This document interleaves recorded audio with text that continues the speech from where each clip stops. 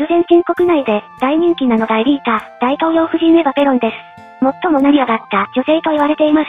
貧しい家庭で育ったものの必死で這い上がり、27歳の時にファーストレディになり上がりました。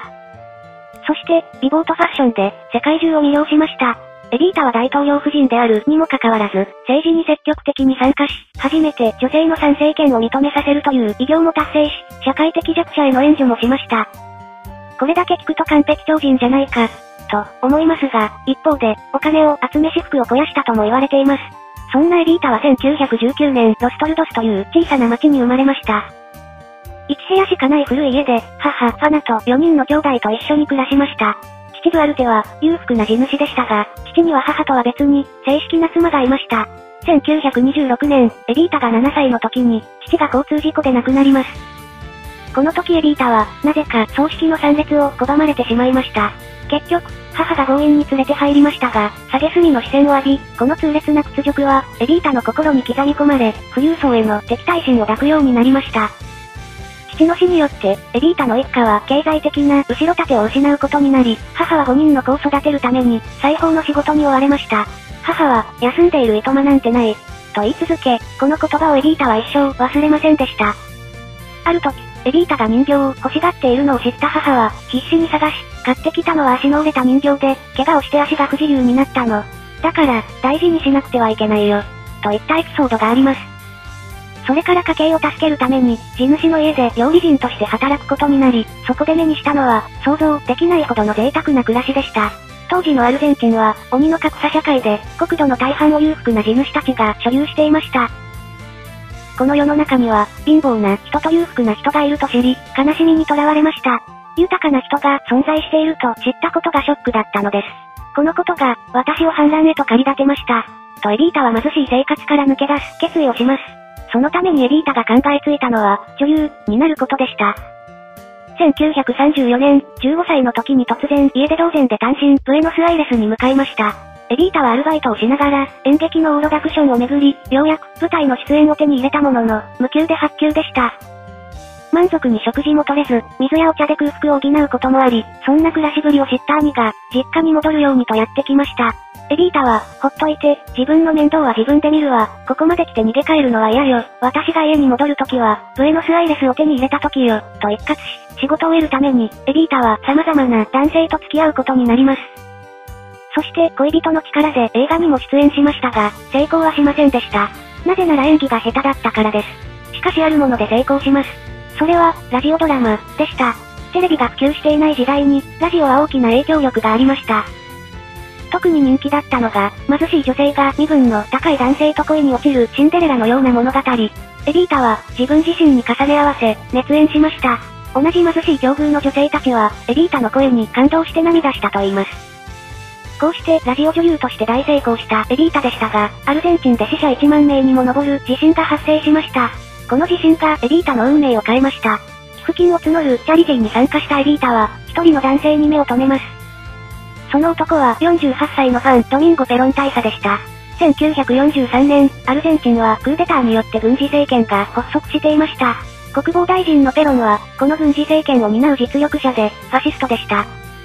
ファシストで有名なのは、例のチョビッキゲイやムッソリーニが有名で、ペロン大佐はこやつらを信奉していました。ペロンは発足したばかりの政権で、国民の支持を得るために労働者の待遇改善に力を入れていました。エビータは隙を見て彼に近づき、どんな困難が立ちはだかろうとあなたについていきます。と言いました。そして、犯罪ほどの年の離れた二人は、一緒に暮らし始めます。エビータと出会って以来、ペロンは労働者の待遇改善策を次々と実現させていきます。エビータもラジオ番組を通して積極的にペロンを後押ししました。ペロンは自分の政策を毎日、エビータの説得力のある語りでラジオ放送させました。新聞は、労働者や貧困層は読まないので、ラジオが一番効果的だったのです。そして1944年、ついにペロンは副大統領となりました。しかし、徐々に不満の声が上がり始めました。思い切った労働者の待遇改善は、中小企業の経営を悪化させ、破産が増加したのです。第二次世界大戦が終わると、ペロンのファシズムが問題視されていきます。そして、政権を担う軍部の中からも批判の声が増えてしまいました。そして、1945年にペロンは逮捕され、監禁されてしまいました。そんな犯罪者、ペロンを支持していたエビータは、ペロン反対派の学生から顔が腫れ上がるほど殴られたこともあります。しかしエビータは強気で、殴られるたびに、私は生まれ変わったのです。との言葉を残しています。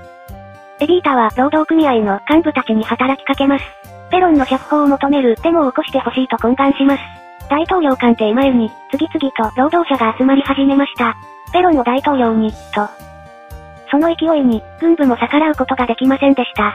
デモの効果は絶大で、監禁されてから5日、ペロンは釈放されました。しかし、政界復帰はためらいます。弱気のペロンにエビータはデモを掲載された新聞を見せます。その新聞にはペロンの大義とスローガンが掲載されていました。それを見て彼の闘志に再び火がつきペロンは、1946年大統領に就任。そして、ペロンと結婚したエビータは27歳で、ファーストレディーになりました。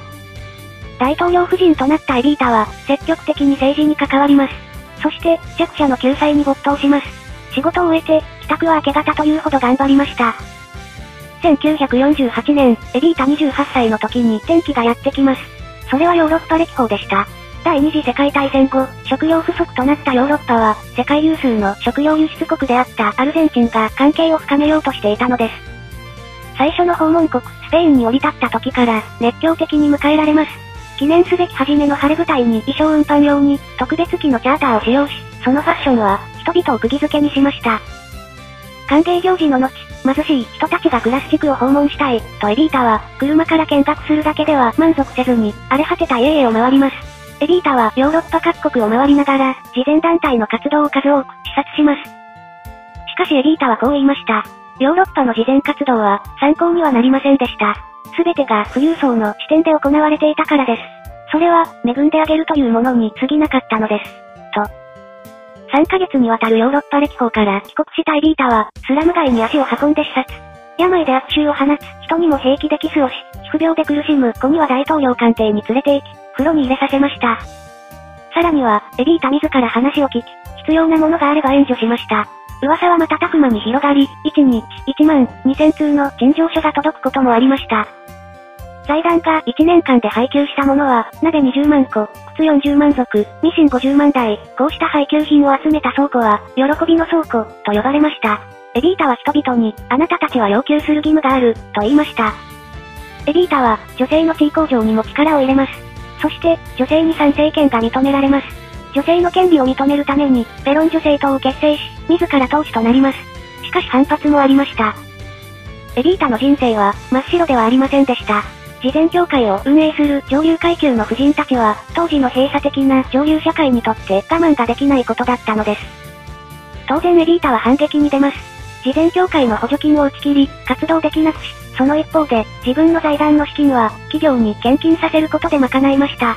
そして、献金を渋る企業には圧力をかけました。そんな中、財団を通じ、エビータが私服を肥やしているという疑惑が噂されます。財団の支出は、どの省庁の予算よりも多かったのです。しかし、管理はずさんで、半分は剰余金になっていて、それがどう使われたのかが不明でした。お金がどう使われているのかに対して批判があったのはやむを得ないことでした。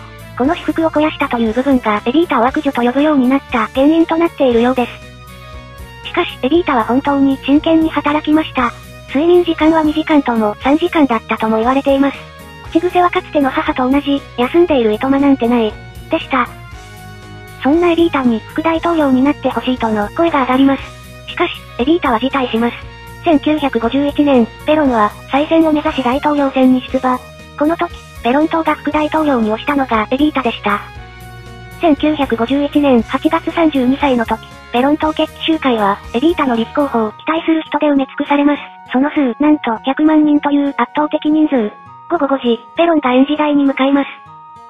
そこにエビータが登場していました。私がやってきたことは、決して政治的な地位を確保するためではありません。もちろん、ペロン政府において、副大統領というのはとても名誉ある職です。でも、私が熱望するのは、祖国のつつましい人々の愛情がもたらしてくれる名誉だけです。と。しかし、ペロンはエビータが副大統領という地位につくことには批判的でした。新聞はエビータが出馬するとねじ曲げた報道をし、それに対してエビータは正式に辞退しました。事態表明から一月、エビータはかつてからの子宮癌に倒れてしまいました。病院のベッドでペロンの圧傷を確認しました。ペロンの大統領就任パレードには33キロまで痩せ細ったエビータの姿がありました。この日、エビータは、痛みに苛まれながら笑顔で手を振り続けました。翌月1952年7月26日、エヴァペロン死去、33歳の若さでした。病床でエビータは心の内を書き留めていました。とても苦しい。でも、この苦しさは、いい人間になりたいと望んだ一人の貧しい女のことを、誰も理解してくれないという無力感から来るものなのです。と。エビータの葬儀の日、人々が最後の別れができるように、遺体は3日間公開されることになりました。しかし、人波が途絶えることはなく、2週間延長されました。墓にはこう刻まれています。もし、アルゼンチン国民の道を照らすことができるのならば、私の命を燃やし尽くしたいと絶望します。そして、帰ってきます。何百万人ものエリータとなって、と。いかがでしたでしょうか一人の少女のなり上がりとその短い人生でした。では、ここまでご視聴いただき、ありがとうございました。ではまた